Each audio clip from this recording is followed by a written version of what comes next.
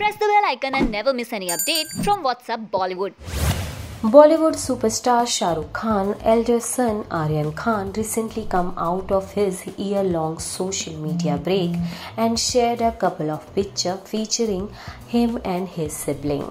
Aryan took to his Instagram handle and shared a post which was captioned hat trick.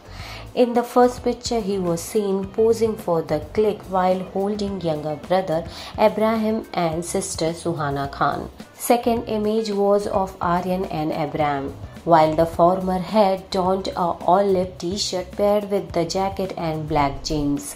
The latter was sporting a black hoodie with the denim jeans.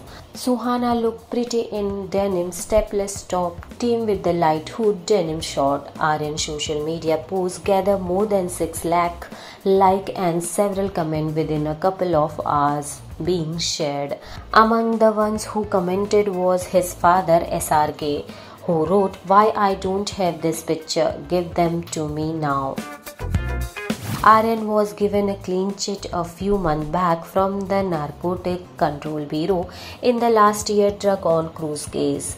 The NCB had filed a 6,000 pages charge sheet against 14 accused in the cruise drug bust case on May 27, which exclude the name of five other including Aryan who were earlier arrested in the case.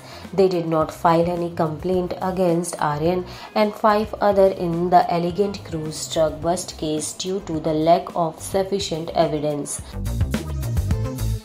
Meanwhile, Suhana is set to make her Bollywood debut with Netflix film The Archie directed by Zoya Akhtar. The film is adaptation of popular Archie comic. What you think about this story? Comment and let us know. And for more updates, stay tuned with What's Up Bollywood.